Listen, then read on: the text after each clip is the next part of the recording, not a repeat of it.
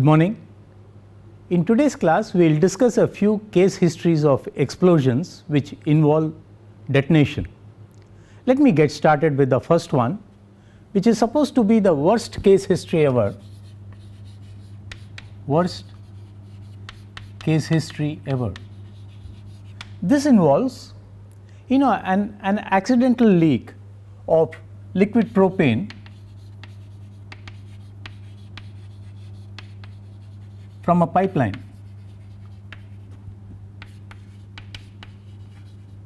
Before getting into the details, let me first tell you when it occurred and what happened.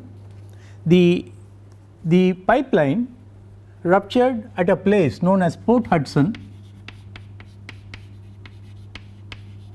It was in the Franklin County, this is in Missouri.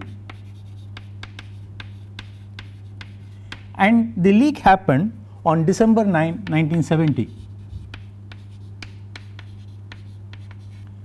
You know, it so happened liquid propane was being uh, transported in a pipeline and this pipeline was of diameter something like 0.2 meter diameter at a pressure of something like 65 bar and you know from the site of the place where it was being transported this particular accident happened at Port Hudson and this particular place was in a valley like like for instance you you had the topography of the place something like a valley something along the slope of the hill you have the pipeline which is sort of buried pipeline and it is transporting liquid propane at a high pressure. Why it is transported at high pressure is you know you propane is a gas normally it liquefies or it it it becomes a liquid at minus 42 degrees centigrade however at high pressure you can still transport it as a liquid. In this particular pipeline which was somewhat old something like 40 years old a small at the weld fracture at the weld uh, uh, a, a, sort of a leak developed and liquid propane started gushing out from this particular pipeline. Let me put it in a buried context and then let, let's go ahead and see what happens. You have the buried pipeline over here, leak develops and liquid propane gushes out of the particular hole or the weldment wherein the failure has happened. The moment the liquid propane starts to gush out, you know upstream of the particular leak people stop the supply, but then there is a lot of propane here and something like 2300 kg of propane got spilled from this particular leak. You know when liquid propane comes out, you know the liquid propane is initially at the ambient temperature, mind you it is a December month, the ambient temperature was something like 1 degree centigrade being a winter month and there was this wind along the valley, al al along the slope of the mountain at around 2.5 meter per second. This is the wind speed. You, you have the propane gushing out and the, the moment it gushes out, you know, from the high pressure region, it sees the atmospheric pressure and because of the, the, of the atmospheric pressure, it flashes into vapor. The moment it flashes into vapor, it absorbs. That means the, the liquid flashes into vapor and therefore it absorbs the heat and therefore what happens is even though you have gas which is which should be there at atmospheric pressure. Because of the removal of latent heat you have liquid droplets which are being formed. You have something like a fog of droplets which are being formed and you have a spray. And the the nearest place from which people could observe was something you have a highway which is something at a, at a distance of around 800 meters away from this particular place where the leak develops. Therefore, a few witnesses observed this, this particular spray and this spray was something like almost like uh, 15 to 20 meters high. That means you have a huge spray of the, the gaseous vapor, you have the droplets of vapor which are being formed. Well, this is what happened and as I said the nearest place was the highway and then because of the wind conditions you know this particular cloud now you have something like a whitish cloud which is being formed. This cloud moves along the wind speed and the wind speed drags it along the ground and therefore you know the atmosphere transports this cloud and we will be studying about atmospheric dispersion. At that point, we will again revisit this example.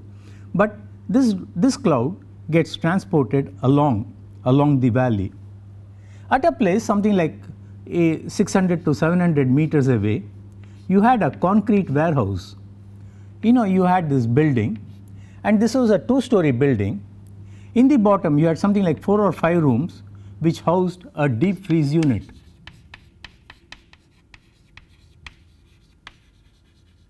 You know, in this deep freeze unit, you had something like four deep freeze units in this thing. And as the cloud moved, you know, you, it was a winter month, everything was closed. And through the sliding doors of this concrete warehouse, what happened is through this concrete, through the sliding doors, the cloud sort of diffused in and you had a mixture of propane with air being formed over here. I will revisit it, how the mixture gets formed. Therefore, you have the cloud which comes in here Maybe at the point of spill itself, the gushing was so heavy because of the high pressure that a pit of width around 3 meter diameter and uh, a depth of something like 2 meter diameter got formed. That means that is the speed and because of the high velocity, it also entrained air and therefore you have in this sort of spray which is being formed here, air and propane available and this air propane blew into this particular warehouse and you had conditions wherein you could have a flammable mixture or even a detonable mixture. But let us revisit this problem. The leak happened when the time was around 10:25 pm, it is at night. You know the place is not heavily uh, habited and therefore you have just a few houses and, and uh, maybe it is essentially a wooded area. And for some time like 20, 20 minutes nothing really happened the cloud gets drifted along the valley and, and what happened is it did, did not see any, any sort of a ignition source or any spark or anything which could ignite it and it just entered this warehouse wherein these refrigeration units were there. In the refrigeration units you have these control motors of the refrigeration system that is in the deep freeze units, control motors let us say and the heat source in these motors plus the spark from these motors, it, it ignited a flame in this particular warehouse. Therefore, you know you know to ignite a propane air mixture you need something like, like 0.2 millijoules of energy whereas to cause detonation in propane air you need something like 100 kilojoules of energy. Therefore, to have a detonation being initiated in this place is just about impossible and therefore, let us say a flame gets started because of the blockages which are available in this particular room which is housing these deep freeze units, the flame develops into a fast deflagration and then probably into a detonation. And when you have a detonation or a very something like a quasi detonation, I will again discuss this a little later. What happens is the pressure behind it ruptures the, the, the, the warehouse which means it should have been a detonation to have ruptured this. And you have the cloud which is available. And this, this uh, shock wave created ignites this particular cloud over here. And what people observe is up till around 10:45 pm nothing really happens when at 10:45 pm 20 meters after the leak originated you see a lightning in in the in in the leakage area just a, a brilliant flash as it were saying that something all of a sudden has happened followed by the loud bang. Mind you, before this loud bang from this lightning of the propane air cloud which is formed over here, prior to that a bang was heard when this thing got initiated, a detonation got formed here. Therefore, you have a detonation which occurred here due to blockages, flame to detonation transition, which creates a blast wave and or a shock wave. And this shock wave ignites it. That is when people observed a, a, a lightning in the sky in, in, in the valley. And this caused the detonation. And therefore you have something like a waiting period of something like 20 minutes after which you create a detonation. And this detonation was so strong that maybe people who are witness to this particular accident from the highway when, when they were just toppled down. And even at a distance of something like almost like 20 kilometers away, it is reported that one of the cops who are driving his vehicle, he lost balance because of the wind effect. And that was the powerfulness of this particular explosion. Therefore, you find that in this case the accidental leak of something like liquid propane forms something like a cloud, a fog of cloud which, which has something like 2300 kilograms of propane. Apparently nothing really happens because of atmospheric dispersion and because of the intense velocity and turbulence with which the liquid propane is gushing forward, it entrains the, the air, mixes with air, you have a flammable cloud formed right here, but this cloud keeps drifting, gets into the warehouse, gets ignited in the warehouse where it meets its first ignition source, forms a flame, it becomes a detonation, knocks out the warehouse and the shock from this warehouse is what causes the particular detonation. The detonation was so strong, let, us put some numbers into it, like 10 kilometers of wooded area around the site that is uh, uh, got, got, got damaged, buildings around 10 kilometers got damaged. And we if we if we look at it, you know we are saying that the sky got lit up or lightning sort of thing happened 20 minutes afterwards, that means you waited for 20 minutes. And therefore, whenever you have a leak, you know, the longer it takes, longer it takes to ignite, the more and more of the, of the, of the combustible cloud gets formed and you run into the danger of forming a large explosion. And this is what happened which means you know for an explosion to occur again redraw what, what we are learning, what we have learned. You need a fuel, in this case it is C3H8 propane, you need air to mix together and in this particular case there is no doubt that because of the high level of turbulence with which the spray is getting formed that it get mixed over here, you have a mixable cloud. And once the, the, the, the valley gets lit, then what happens is the heat from this sort of devours, you know, it, it, it, it feeds into the fuel rich propane which is still available. And you see a red glow of fire which happens afterwards, it consumes the, the, the remnant of the propane air or propane rich mixture which is formed. Therefore, you have something like a fuel, you have air, you have an ignition source within the air warehouse which starts a blast wave or which starts a detonation. This detonation breaks through the door and windows of this warehouse and ignites the cloud and this is what happened in this particular case. Well, this is a well recorded case and the atmospheric dispersion has been done. We will do the atmospheric dispersion a little later. But this is one of the instances of an, of an practical explosion, of an accidental explosion. Having said that, let us come to the next example we will, we will look at some other gas. Let us take a look at, let us say, natural gas. You know, natural gas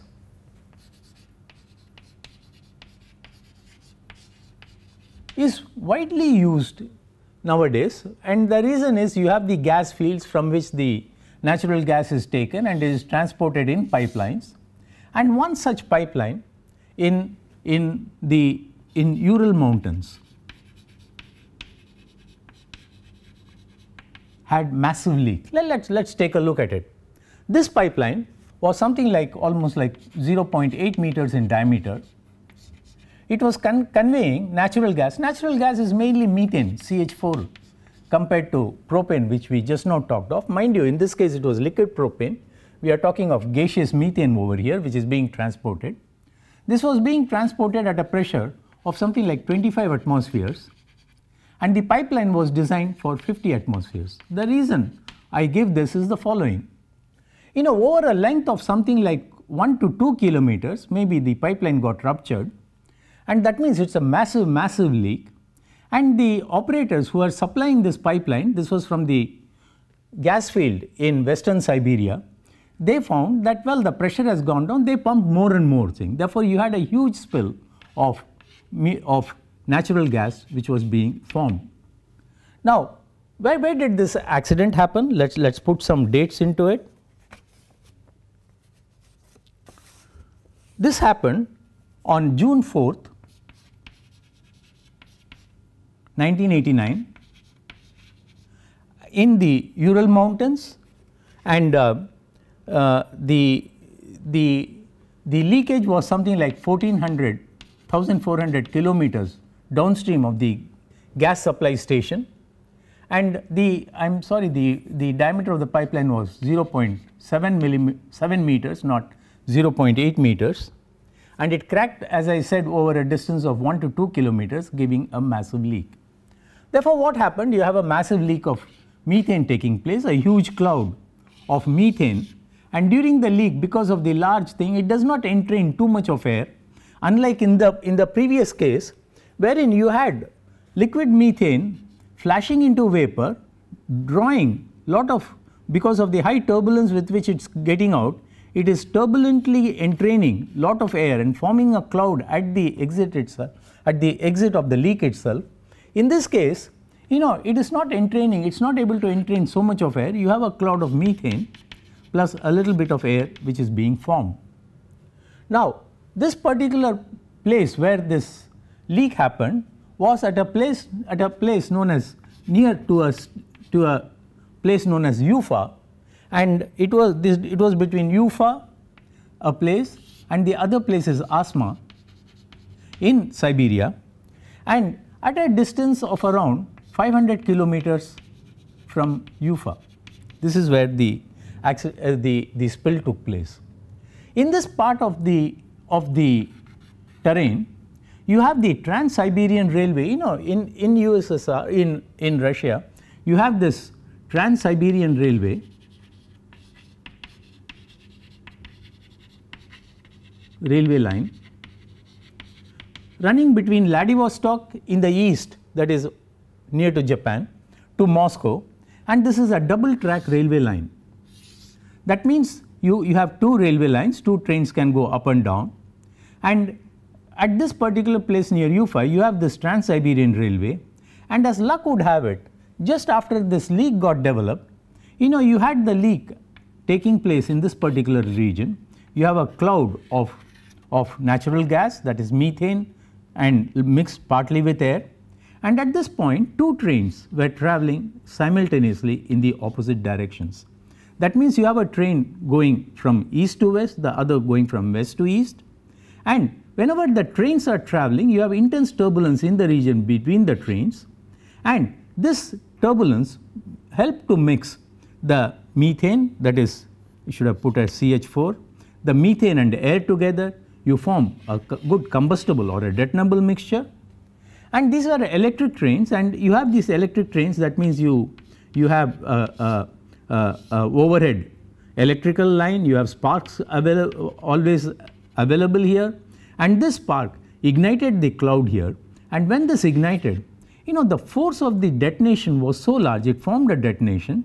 It could not have formed a directly a detonation because spark does not have an energy. We saw that to, to be able to directly form a detonation in methane air mixture which is stoichiometry requires something like 10 to the power of almost 3 kilojoules. Apparently a flame got formed. You have the blockages due to the railway uh, carriages over here, wagons over here and in these wagons maybe some 500 people were travelling essentially school children and you know when these wagons are there it creates turbulence, it creates blockages, the flame becomes a detonation. And in the detonation because of the force of the uh, shock wave in the detonation something like 28 carriages were just blown off from the track. And also that the track of the of the two the, the two railway lines also blew away. That was the force of this explosion. And all the 500 people who were in these carriages got got killed. And that was the force of this particular explosion therefore to sum up we can say that this particular explosion which not, not only blew off the carriages, but also demolished the railway line and over an area of something like 3 kilometers square. What happened is that the, the trees were uprooted, the buildings were, were decimated and this is the force of this particular explosion. Therefore, what do we learn from this particular example? This is known as the, the largest ever man made explosion. And as I said this happened in the Ural mountains and the it happened on June 4, 1989. Well, there have been case studies of this particular explosion including the dispersion of methane gas. We will look at the atmospheric dispersion later. But what really formed is the is the turbulence created when the two trains were moving. As fate would have it we had two trains moving through the particular cloud of methane uh, at the same time created turbulence mixed with air. You had the electrical spark and we had the fire triangle wherein in this case you have methane gas you have air over here you have the spark which creates a flame. The blockages of the train cause it to become a detonation and the wagons just just get blown off. And this is the case of a natural gas explosion which happened in Ural Mountains on June 4, 1989. Since we are with natural gas, let us take one, one more example of a case study of an explosion. This happened in Cleveland in Ohio.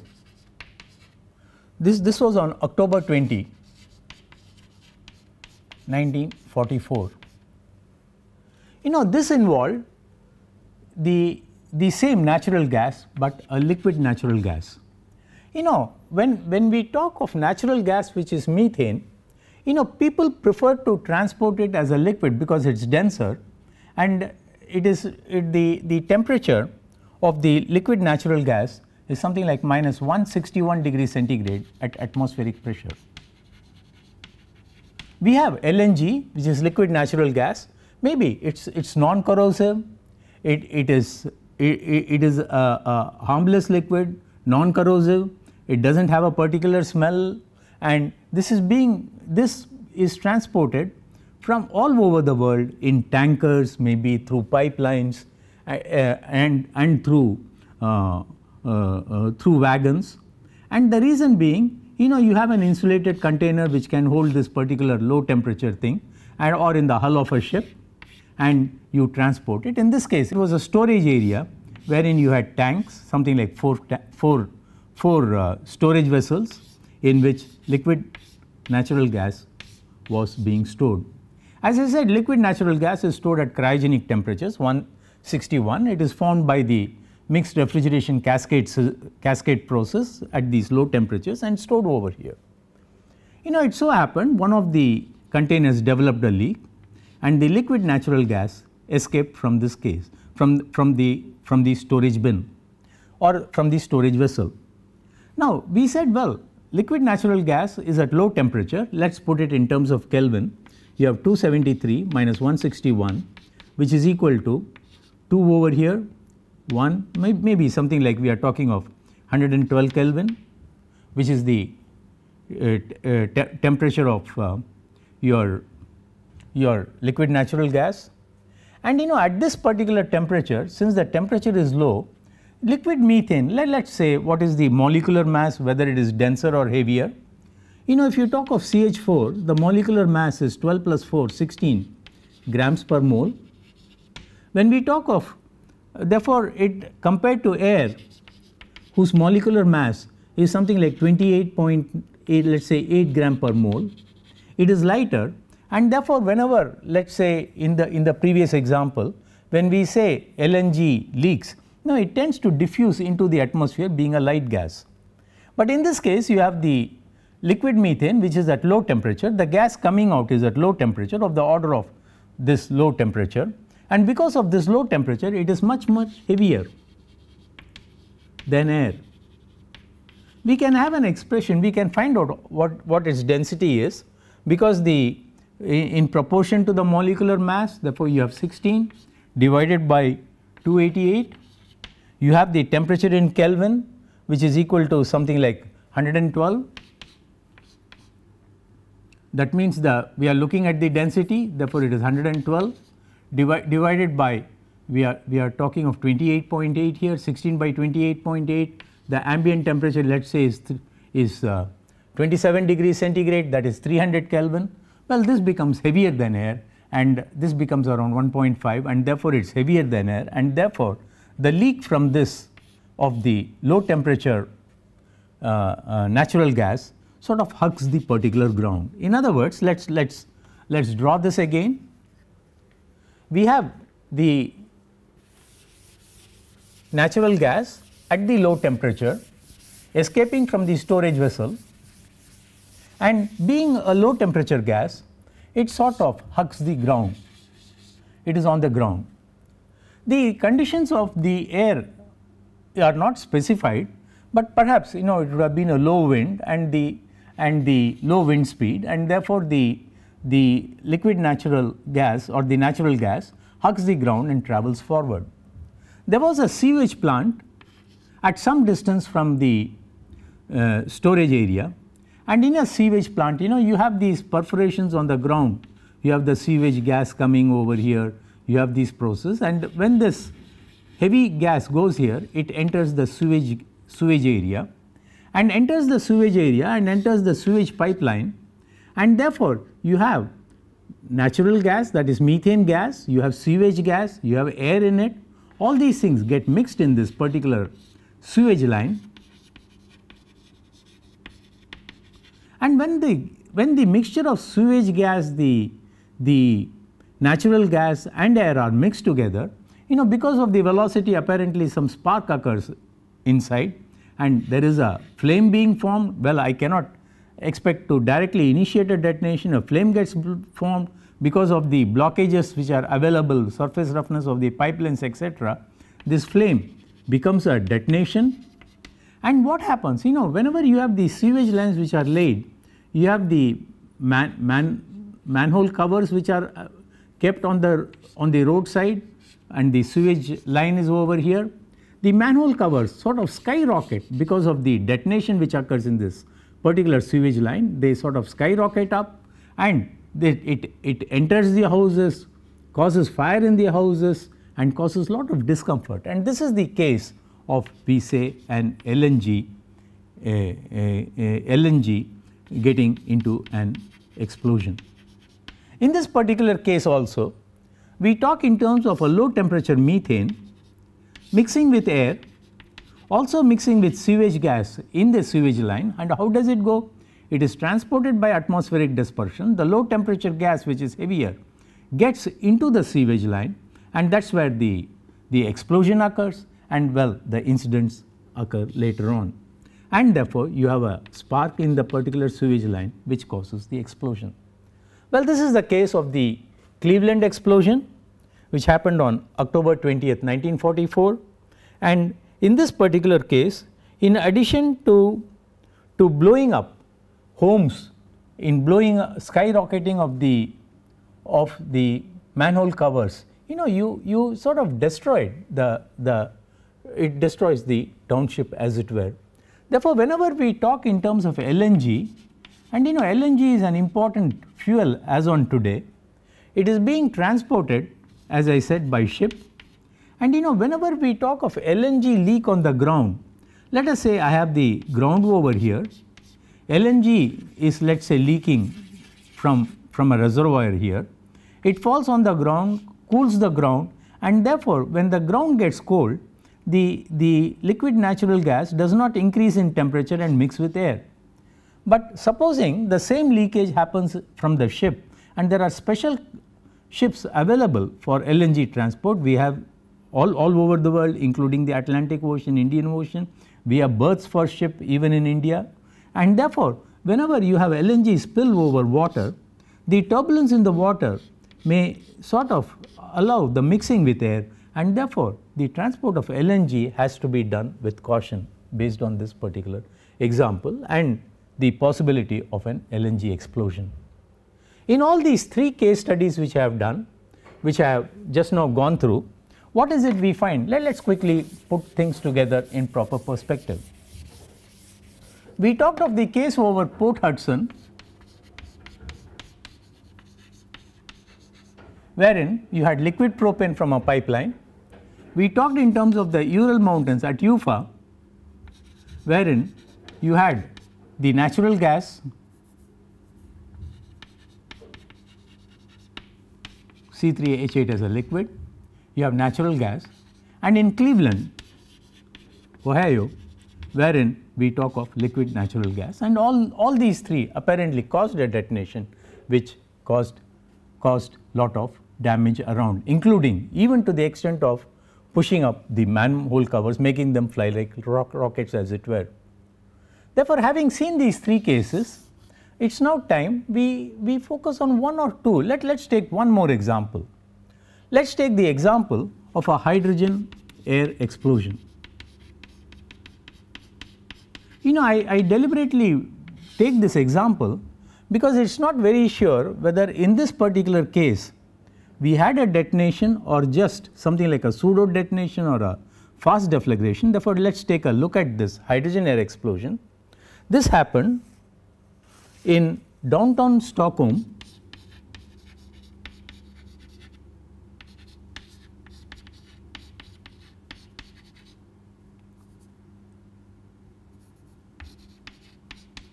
in Sweden. This happened on uh, March 3, 1983. The incident was the following there was this particular truck which was carrying these cylinders, different uh, cylinders containing different gases. And in this particular accident, the truck was, was parked in downtown area, uh, downtown in Stockholm. And you know, the, this truck, you know, was stopped there to supply gas to different establishments around the particular place. And what was there? You had in the truck, in addition to other gases, you had something like 18 cylinders of hydrogen at 200 bar and all these things were interconnected together, something like 18 of them. And al along with hydrogen gas in the cylinder, there were other gases and the operator was shifting the other cylinders for supply. He found that there is something like a hissing noise which he hears coming from the from the from from the cylinders. Therefore, he wants to investigate it. The moment he hears it, he goes down, but within 10 seconds, he hears some there is an explosion. And what happens is maybe at a distance of something like 90 meters away, based on the breakages of glass from a building, we say yes, 5 kPa overpressure was created. We have studied different overpressures, what causes glass to break. We say 5 kPa overpressure can cause it. Apparently, what has happened is there has been a leakage and the amount of leakage was something like totally 13.5 kg of hydrogen got leaked, out of which when the explosion started at 10 seconds, apparently something like 4.5 kilogram of hydrogen was, was available in a cloud of something like 600 meter cube. You know let let's, let's take a scenario. You have something like several cylinders which are available. A leakage of hydrogen takes place something like over an area of 600 meter cube. It, it, it is possible this cloud gets ignited, perhaps a flame got formed. When the flame gets formed, it meets the blockages, it accelerates because we saw Whenever you have a high speed flow, interaction of the high speed flow with blockages creates shock waves or creates expansion and compression waves which are weak shock waves and in that presence because of the turbulence associated with these wave processes maybe the flame becomes turbulent. The acceleration of the turbulent flame leads to something like a turbulent flame brush which is severe turbulence and it is quite possible that this turbulent flame brush traveling with high speeds could, could also result in 5 kPa overpressure. Therefore, the accidental leak of hydrogen from these cylinders in Stockholm does not necessarily say a detonation is formed. Therefore, but it is also possible that a detonation of this cloud could have could have resulted in this overpressure, but it is also quite probable that even if it was not a pure detonation, it was a high speed flame, we could still expect to get this type of overpressure. Therefore, I think before we, we put this example through, we must be a little more clear what we mean by this let us say turbulent brush of flame highly moving at high velocity and what we mean by a detonation. Is a detonation formed in this case or not? You know to be able to do that we should be able to understand the, the acceleration of a flame to high speed and therefore let us let us spend some 2 or 3 minutes on, on interaction of a flame with blockages.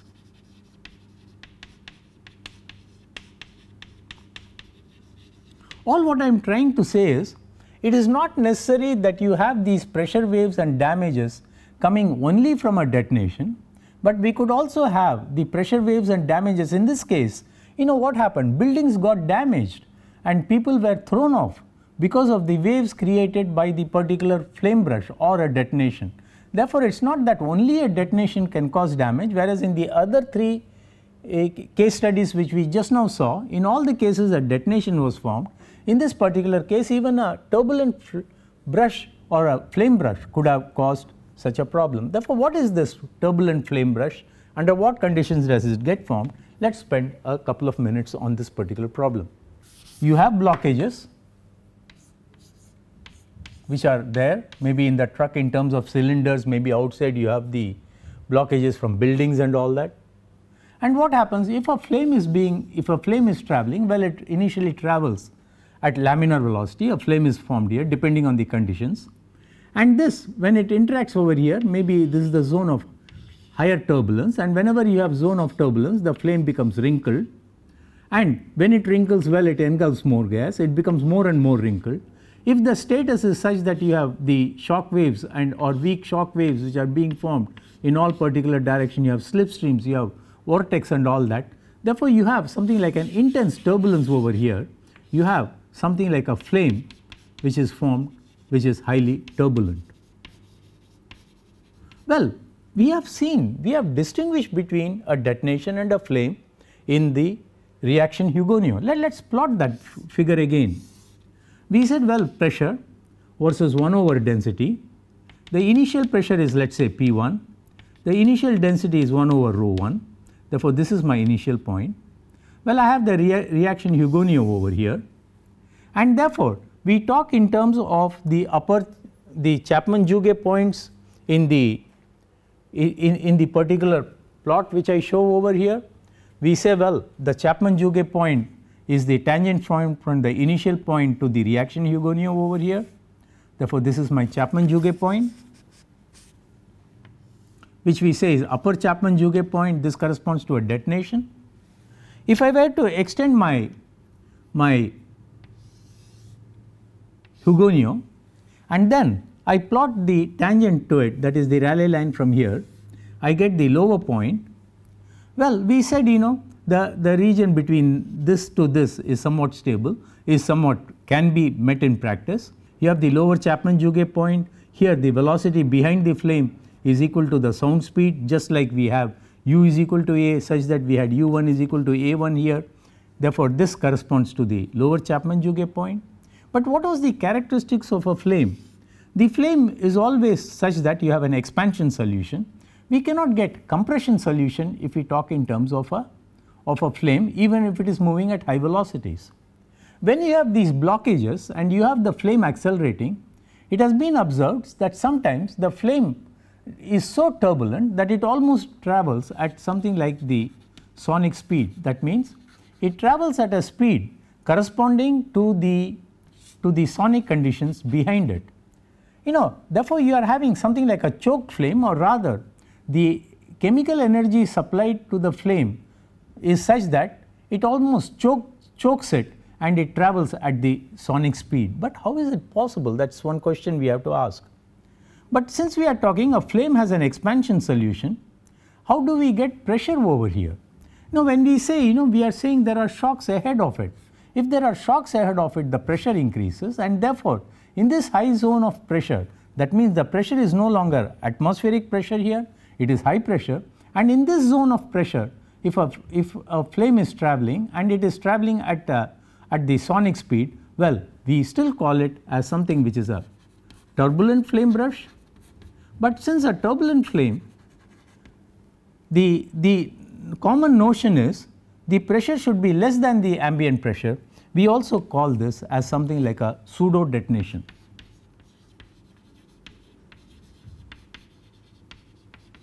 In other words, a pseudo detonation is a shock front behind which maybe chemical reactions are taking place, but the chemical reactions are such that it is not able to drive the shock front effectively to form a CJ detonation. And what happens is the, the net flame that is the net shock now travels at a speed which is around uh, which is such that the, the, the, the speed is corresponds to the sonic speed behind it which in effect corresponds to the velocity of CJ detonation divided by 2. This is the typically the velocity of a pseudo detonation. That means you whenever you have a shock which is which which forms chemical reactions, but these chemical reactions are decoupled from the shock, you say well it is a it is a pseudo detonation, you still have a compression solution over it and the compression solution corresponds to this particular L point and you call that as a pseudo detonation. And whenever you have blockages what happens? Let let's assume I have blockages and in these blockages let us say uh, a Chapman-Jouguet detonation at VCJ is travelling and when the diffraction takes place at the at the blockages well you know the gas expands and when the gas expands well I have the shock here well the the chemical reactions now the shock expands and therefore its velocity decreases when its velocity decreases the chemical reaction gets decoupled and therefore the effect of losses from the blockage are such that well I can have a pseudo detonation. But we must also remember we had developed an equation for Cj velocity V Cj square is equal to 2 into gamma square minus 1 into the heat release.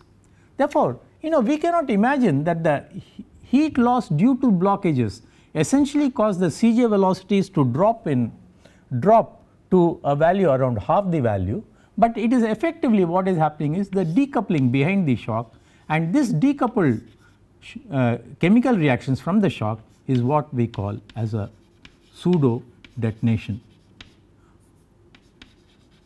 Well, it is also something like a highly turbulent flame brush which is being formed and the initiation of a detonation if we go back to what we discussed about initiation, we always formed a shock wave and under critical conditions of initiation well the flame lagged behind or the zone of chemical reactions lagged behind the shock by a, by a particular small distance which means in practice I could have a pseudo detonation if I plot the distance over here. I say I have something like a like the shock over here RS dot over here it, it, it decays in strength, travels as a pseudo detonation and then becomes a detonation. We did discuss this earlier, this is equal to Rs dot as a function of distance. Therefore, you know in, in the case at Sweden perhaps in the example of Stockholm where in hydrogen leak you formed something like a highly turbulent flame brush or a pseudo detonation which created the waveform. Therefore, it is not essential that you always get a get something like a like a detonation to damage buildings, you could also get a highly turbulent flame brush which could cause havoc. Having said that, let us take one or two small examples which relate to other substances. Let us take let us say solid substances, solid fuels.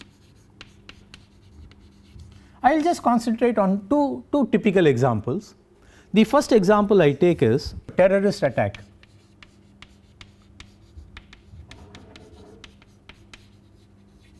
And this terrorist attack happened at Oklahoma City. You know, in this Oklahoma City, a, a nice posh building, a nine story building, a federal building known, known as uh, Murrah Building,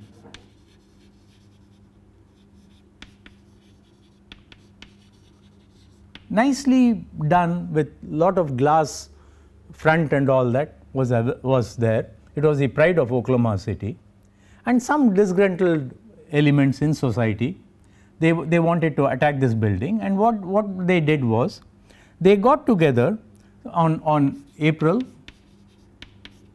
16, 1995. I take this example because we have lot of articles on the terrorist attack on Murrah building. It came in Reader's Digest also a few years ago. You know the what, what was done was they took something like 2500 kg of ammonium nitrate NH4NO3 crystals, ammonium nitrate NH4NO3 and mixed it with diesel oil and some nitromethane. See nitromethane is a cleansing fluid. It is also used as a fuel for sports car. This is a fuel, this is a fuel, this is an oxidizer. They mixed 2500 kilograms of this, parked a truck just outside the Murrah building and they made sure that it gets initiated into a detonation by, by forming a strong shock using some other initiator. That means they directly initiated a detonation, initiated a, a detonation in the, in the 2500 kg. And this particular the detonation was so strong that it blew off about more than half of the Murrah building totally. It damaged something like 89 cars. It killed something like 280 people who were in the building and around. And it was the worst ever tragedy one could think of. You know, these are the type of things which havoc which a detonation can do. And we must remember that maybe we should, we should take these things a little seriously and make sure that such terrorist strikes do not happen. But Getting, getting back to this particular example, this is a case of direct initiation of a detonation in this particular mixture of 2500 kg and the amount of substance was so large that it just blows off. The, the source was the source of this namely ammonium nitrate, diesel oil and nitromethane was kept in a truck and it created it was forced to create a detonation by an by a strong initiator and that caused the dam damage as it were. Well, we, we have such a num number of explosions taking place and one of the recent ones which I want to just highlight before I stop here such that we can get started with confined explosions in the next class or confined and unconfined relates to the example at which happened last year namely the Boston Marathon. This is on April 15, 2013. You know here what happened is you had these pressure cookers that means you had cookers which can hold pressure and that is how we cook our food. In two pressure cookers combustible substances were kept and maybe some, some energetic substances. Combustion or detonation was initiated and when high pressure gets developed in the cooker, well the cooker just ruptures, a blast wave is formed. And this blast wave disrupted the, Bo the Boston Marathon last year and it result, resulted in fatality being 3. But more than the fatality, the type of damage and the type of people getting injured is something which is which, which is very, very undesirable. Therefore, in this particular case, you have a confined vessel of a given volume in which we start an explosion and in the next class what we do is we take a look at explosions in confined and also in unconfined geometries.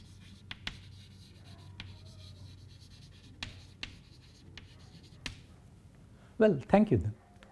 An announcement please. We covered the subject of flames and detonations in as much as they influence the explosions in the lectures 20 to 27. Additional reading material and a set of homework problems pertaining to these lectures are given in the downloads of this video course.